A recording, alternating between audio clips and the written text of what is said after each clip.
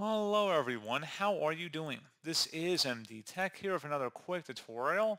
In today's tutorial, I'm going to show you guys how to resolve if you're unable to identify or locate the group policy editor or gpedit.msc on your Windows 10 or Windows 11 computer.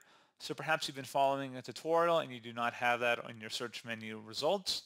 In today's tutorial, I'm going to show you guys how to hopefully resolve that. And without further ado, let's go ahead and jump right into it. So all you have to do is open up the search menu, type in command prompt, best result should come back with command prompt, right click on it, and then run as administrator.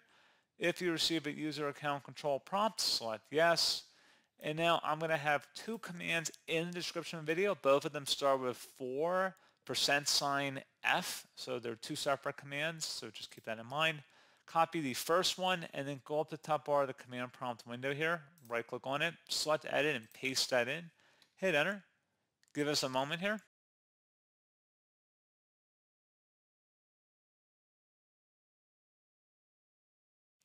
And then once that has completed successfully, go ahead and copy and paste the second command I'm going to have in the description of the video. And then once that's done, you should be able to close out of here and then restart your computer.